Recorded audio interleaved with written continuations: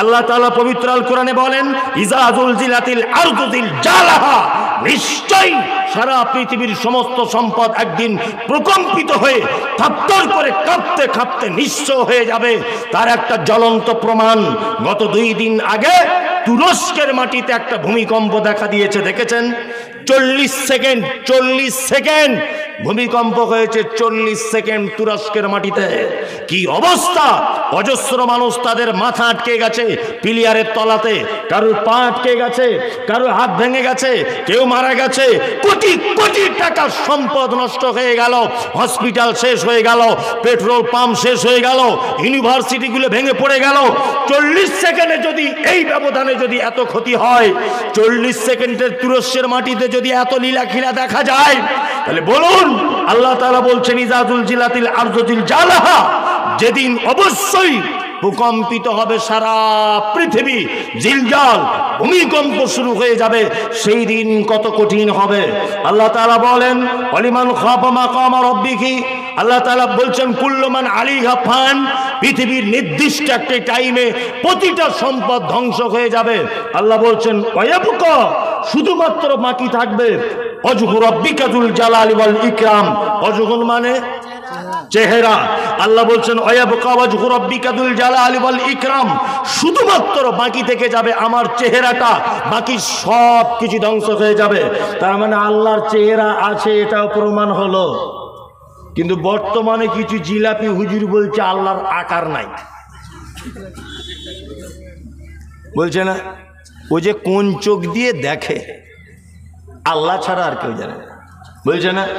বলছে।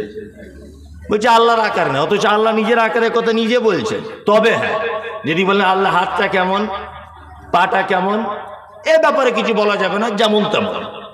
আল্লাহর হাত যেমন হওয়া প্রয়োজন, তেমন। চোখটা যেমন হওয়া প্রয়োজন, তেমন। অবু আলা কুল্লি সাইয়্যিন কদির। সমস্ত কিছু ক্ষমতার মালিককে আল্লাহ। আপনাদের এদিকে আমফান ঝড় হয়েছিল? হয়নি। যত ঝড় হয়, তিনটে জেলাতে বেশি হয়। মনে রাখবেন। চারটে জেলায় চারটে পাঁচটা জেলায় হাওড়া, হুগলি, হাওড়া ততটা হয় না। হুগলি, কলকাতা, উত্তর আর দক্ষিণ চব্বিশ পরগনায়। যত আল্লাহ ঝড় দিয়ে আপনার বেশি মানুষকে বিপদে ফেলবে, এই ঝড়গুলো দেখবেন বেশিরভাগ এই তিনটে জেলার উপর দিয়ে চলে যায়। কারণ আছে। এই দুটো জেলা পার করার পরেই সুন্দরবন পড়ে যায়। ওই জন্য ঝড়টা গিয়ে ডাইরেক্ট সুন্দরবনের ভিতরে ঢুকে যায়। ওখানে মানুষ টানুষ বসবাস করে না। আল্লাহ মানুষকে বাঁচাবার জন্য এই ব্যবস্থাটা করেছেন। যাই হোক আমফান ঝড়ে আমি নিজে চোখে দেখেছি।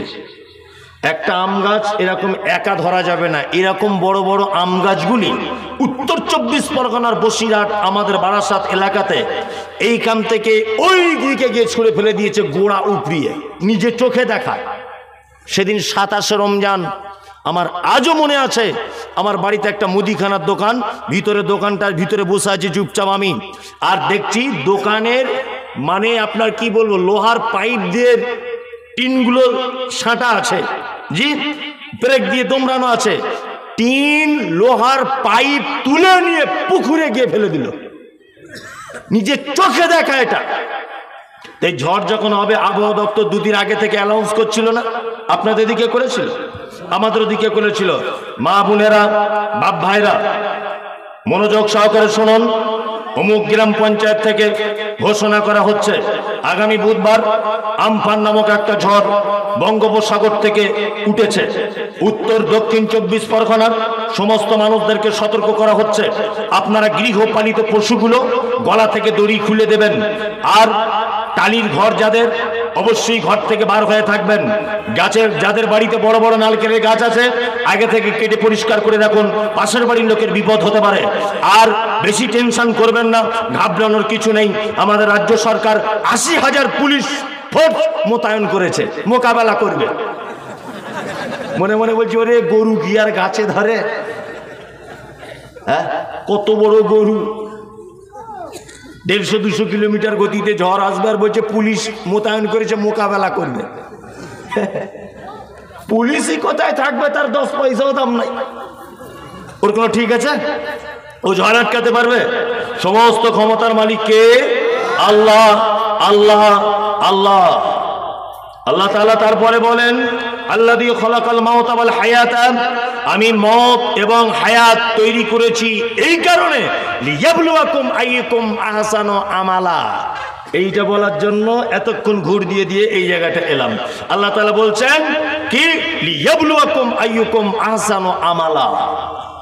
তোমাদেরকে পৃথিবীতে পাঠানোর আর একটা উদ্দেশ্য হলো আমার এই যে তোমাদের মধ্যে উত্তম ভালো কাজ কে করবে, উত্তম আমল কে করবে, এইটা জিজ্ঞাসা করার জন্য পৃথিবীতে তোমাদেরকে পাঠিয়েছি। এই জায়গাটা আমার কথা সোশ্যাল মিডিয়াতে বিতর্কিত আর আমি হয়ে গেলাম, খারাপ লোক। তা কথাগুলো আপনাদেরকে বলি দিয়ে যাই তাহলে। জি? হ্যাঁ। আচ্ছা বলুন তো, আল্লাহ এখানে বেশি আমলের কথা বললেন? না আল্লাহ বললেন উত্তম আমলের কথা? কোনটা? উত্তম।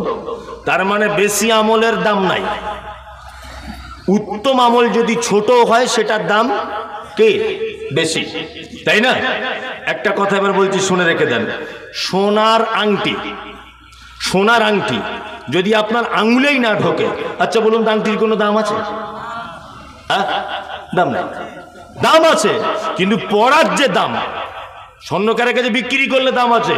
কিন্তু আপনি পরে যে স্বাদ পাবেন বা ওটা যে জন্য কিনেছেন, সেই দামটা আছে? নাই। আংটি সোনার হতে পারে, কিন্তু আঙুলে যদি না ঢোকে, ওর দাম নাই। জি?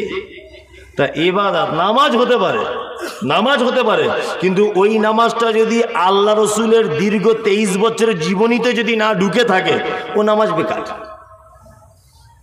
কি বলছি বুঝতে পারছেন না? ওই নামাজ কি? বেকার। হ্যাঁ হুজুর সব কিছু নিয়েছে। হুজুর একটা জিনিস বাদ দিয়েছে। আল্লাহ নবী সাল্লাম বলেছেন, কি বলেছেন? লা সলাত আলিমাল্লাম ইয়াকরা বিফাতিহাতিল কিতাব। কোন সলাত হয় না, কোন নামাজ হয় না সূরা ফাতিহা ছাড়া। তাই তো? হ্যাঁ। হুজুর জানাজার সামনে দাঁড়িয়ে বলছে এই ফটিক ভাই মারা গেছে। যদি ভুল ত্রুটি করে থাকে মাফ করে দিবেন আল্লাহর রাস্তে। সবাই এই রাস্তারই পথিক, মোটা হুজুর। যাতা হুজুর নয়, খুব মোটা হুজুর। আর বহিরাগত যারা মেহমান আছেন, দয়া করে গোস ভাত খেয়ে যাবেন। আর দেনা পাওনা যদি কিছু থাকে, ওর বড় বেটাকে বলবেন, মিটিয়ে দেওয়ার চেষ্টা করবেন। আর চল্লিশ দিন হলে কেউ ডেট মিস করবেন না জানো, ঠিক চলে আসবেন, সেই দিনে তেরোটা গরু করা হবে। জানাজার নামাজ হয়ে গেল। দশবার কুলু আল্লাহ আদ বলো দশবার দরুদ শরীফ পড়ো। আর পাড়ায় যারা যারা কোরআন মাজিদ পড়েছে, সব এর নামে বক্সে দাও। ভালো করে বুঝবেন। হুজুর বক্সানোটা নিল। হুজুর চল্লিশের দিন দাওয়াত দেওয়া এটাও নিয়ে নিল। মরা জানাজার পরে ভাত খেতে হবে, হুজুর এটাও বলে দিল। হুজুর দশবার কুলু আল্লাহ আদ বলতে হবে, হুজুর এটাও বলে দিল। কিন্তু আল্লাহ নবী যে বলেছেন, সুরা ফাতেখা ছাড়া নামাজ হবে না। হুজুর এইটার বেলা বলছে, না, ওটা বলা প্রয়োজন নাই নাই। ওটা না বললেও নামাজ হয়। কি বলছি বুঝতে পারছেন না? হ্যাঁ। হুজুর আল্লাহ নবীরটা নিলেন না। হুজুর নিলেন কাঠটা না, হুজুরের তৈরি করাটা নিলেন। একটা মানুষ মারা যাবার সময় আল্লাহ নবী সাল্লাহ আলী সাল্লাম বলেছেন, তার মাথায় কাছে বসে তাকে কলমা বলাও। সে যদি কলেমা বলতে পারে, অবশ্যই লোকটা জান্নাত চলে যাবে। তাই তো? হ্যাঁ। মারা যাচ্ছে যখন হুজুর ডেকে এনেছে হুজুর পান চিবাতে চিবাতে এসে বলছে, মরাটা যদি আসানে হোক, তোমরা যদি চার বেটা চাও, তোমার বাপের মরণটা আসান করে হোক।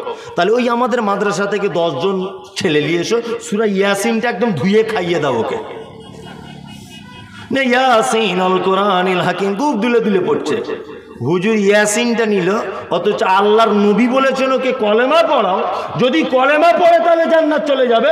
হুজুর ইয়াসিন সুরাটা নিয়েছে, অথচ কলেমাটা নিল না। এ হচ্ছে পাক্কা কানা হুজুর। কি বললাম বুঝলেন? কানা হুজুরে। এ কানা হুজুর আল্লাহ নবীরটা দেখতে পায় না, হুজুর ওর তৈরি করা সুন্নতটা দেখতে পায় আশ্চর্য ব্যাপার। এবাদাত অল্প হোক, কিন্তু এবাদাতের পদ্ধতিটা হতে হবে কার? আল্লাহ এবং তার রাসুলের। তাই তো? যদিও এইখানে কোনো মানে বেদাতিদের আশ্রয় নেই, আমি শুনেছি, নেই তো? কোনো রকমের নেই। তারপরেও আমাদের নিজেদের ভিতরে কিছু ভুল ত্রুটি কি? থেকে গেছে। যেমন ইমান নষ্ট হয়ে যায়, আমল নষ্ট হয়ে যায় দুটো কারণে। কটা কারণে? দুটো কারণে। এক, না জানার কারণে। দুই, ভুল জানার কারণে। আমল নষ্ট হয় কটা কারণে? দুটো কারণে। এক, না জানার কামলে মানে কারণে অনেক সময় আমল নষ্ট হয়। আবার অনেক সময় ভুল জানার কারণে আমল কি? নষ্ট হয়ে যায়।